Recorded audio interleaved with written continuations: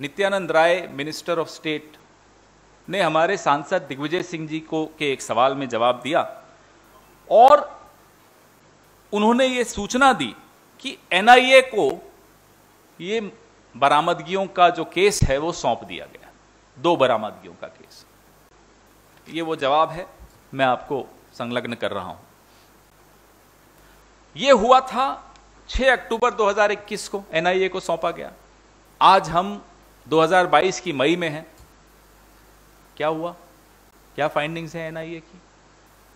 ये ज़रूरी है हमारा सबका यह जानकारी हमें मिलना। ये एक और खबर जो आई थी, जब हम लोगों ने बहुत दबाव बनाया था, ये अक्टूबर 2021 की खबर है कि अडानी पोर्ट कह रहा है कि अब वो ईरान, पाकिस्तान और अफ़गानिस्तान से कार्गो नहीं लेंगे।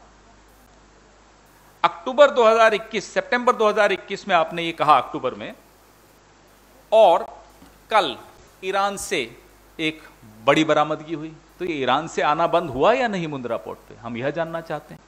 आपने घोषणा की थी कि अब ईरान, पाकिस्तान और अफ़गानिस्तान से आप कोई सामान नहीं आने देंगे पोर्ट पर तो अब वो कैसे आया? सात महीने हो गए आपकी इस घोषणा को। सात महीने बाद ईरान से ये सामान कैसे आया? बावन किलो कोकीन कैसे पकड़ा गया? हमारा ये सवाल है आपसे।